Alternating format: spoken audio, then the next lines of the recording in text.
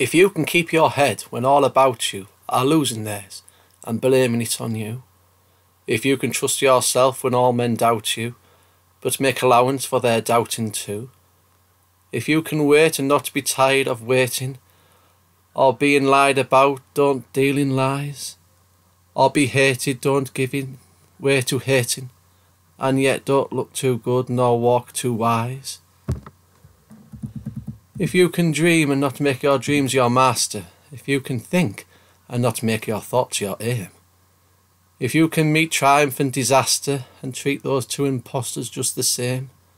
if you can bear to hear the truth you've spoken, twisted by knaves to make a trap for fools, or watch the things that gave your life to broken, and stoop and build 'em up with worn out tools, if you can make one heap of all your winnings, and risk it all in one turn of pitch and toss,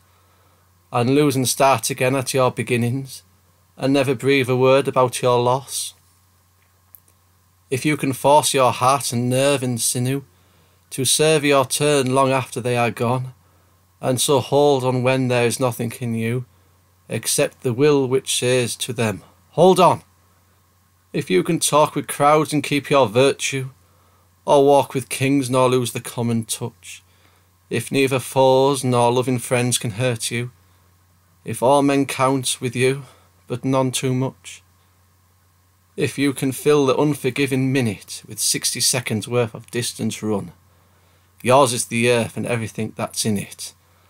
and which is more, you'll be a man, my son.